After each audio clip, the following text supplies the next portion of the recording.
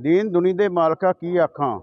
ਤੇਰੇ ਤੋਲ ਤੇ ਕਿਸੇ ਨੇ ਤੁਲਨਾ ਨਹੀਂ, ਟੋਟੇ ਜਿਗਰ ਤੇ ਕਿਸੇ ਨੇ ਵਾਰਨੇ ਨਹੀਂ, ਬਾਦਸ਼ਾਹੀ ਛੱਡ ਕੇ ਜੰਗਲੀ ਰੁਲਣਾ ਨਹੀਂ, ਤੇਰੇ ਵਾਂਗ ਮਿਟਾ ਕੇ ਆਪ ਤਾਈ, ਕਿਸੇ ਬਾਗ ਸੰਸਾਰ ਤੇ ਫੁੱਲਣਾ ਨਹੀਂ, ਉਹ ਤੇਰੀ ਪਾਠਸ਼ਾਲਾ ਅੰਦਰ ਪੜੇ ਜਿਹੜੇ, ਉਹ ਕਿਸੇ ਦੇ ਭਲਾਵਿਆਂ ਭੁੱਲੇ ਨਹੀਂ।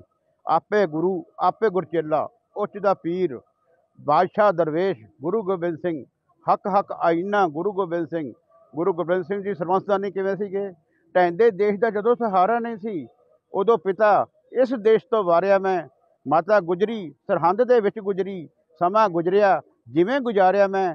ਚਾਰ ਪੁੱਤ ਸਨ ਬਖਸ਼ੇ ਪ੍ਰਮਾਤਮਾ ਨੇ, ਜੋੜਾ ਜੋੜਾ ਕਰਕੇ ਵਾਰਿਆ ਮੈਂ। ਮੈਨੂੰ ਮਤ ਸ਼ਹਿਨਸ਼ਾਹ ਤੁਸੀਂ ਕਹੋ ਸਿੰਘੋ, ਕਿਸ਼ਤਾਂ ਨਾਲ ਦਾ ਕਰਜ਼ਾ ਤਾਰਿਆ ਮੈਂ।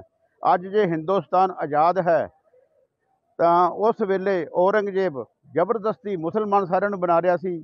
ਤਾਂ ਗੁਰਤੇਗ ਬਹਾਦਰ ਜੀ ਦੀ ਸ਼ਹੀਦੀ ਦੇ ਨਾਲ, ਜਦੋਂ ਗੁਰੂ ਗੋਬਿੰਦ ਸਿੰਘ ਨੇ 9 ਸਾਲ ਦੀ ਉਮਰ 'ਚ ਗੁਰੂ ਤੇਗ ਬਹਾਦਰ ਜੀ ਨੂੰ ਦਿੱਲੀ ਭੇਜਿਆ ਸੀ, ਆਪਣਾ ਸ਼ਹੀਦੀ ਦੇਣ ਲਈ ਤੇ ਹਿੰਦੂ ਧਰਮ ਦੀ ਰੱਖਿਆ ਕਰਨ ਲਈ, ਜੇ ਅੱਜ ਦੇਸ਼ ਹੈਗਾ ਤਾਂ ਦਸ਼ਮੇਸ਼ ਕਰਕੇ ਹੈ।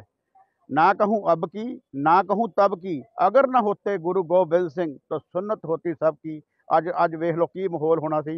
ਇਹ ਗੁਰੂ ਗੋਬਿੰਦ ਸਿੰਘ ਜੀ ਦੀ ਕੁਰਬਾਨੀ ਹੈ ਗੁਰੂ ਤੇਗ ਬਹਾਦਰ ਦੀ ਕੁਰਬਾਨੀ ਹੈ, ਜਿਹੜੇ ਕਿ ਅੱਜ ਆਪਾਂ ਆਜ਼ਾਦੀ ਨਾਲ ਘੁੰਮ ਰਹੇ ਹਾਂ। ਇਸ ਲਈ ਅੱਜ ਦੇ ਦਿਨ ਦੀ ਸਮੂਹ ਸੰਗਤਾਂ ਨੂੰ ਲੱਖ ਲੱਖ ਵਧਾਈ ਹੋਵੇ। 1699 ਈਸਵੀ ਵਿੱਚ ਗੁਰੂ ਗੋਬਿੰਦ ਸਿੰਘ ਜੀ ਨੇ ਖਾਲਸਾ ਪੰਥ ਦੀ ਸਾਜਨਾ ਕੀਤੀ। ਪੰਜ ਪਿਆਰੇ ਸਾਜੇ।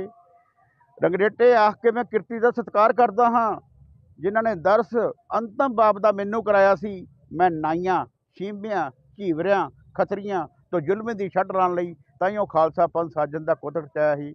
ਗੁਰੂ ਗੋਬਿੰਦ ਸਿੰਘ ਜੀ ਦੀ ਜੀਵਨੀ ਦੀ ਮਿਸਾਲ ਸਾਰੀ ਦੁਨੀਆ 'ਚੋਂ ਨਹੀਂ ਮਿਲਦੀ। ਇਹੋ ਜੀ ਪੁੱਤਰਾਂ ਦੇ ਦਾਨੀ ਸਰਬੰਸ ਦਾਨੀ ਦੇ ਅੱਜ ਤੁਹਾਨੂੰ ਗੁਰਪੁਰਬ ਦੀ ਲੱਖ ਲੱਖ ਵਧਾਈ ਹੋਵੇ।